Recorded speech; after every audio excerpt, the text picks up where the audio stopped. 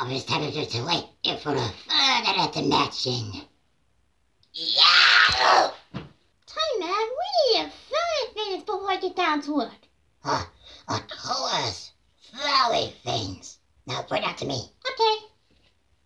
Hi! Uh.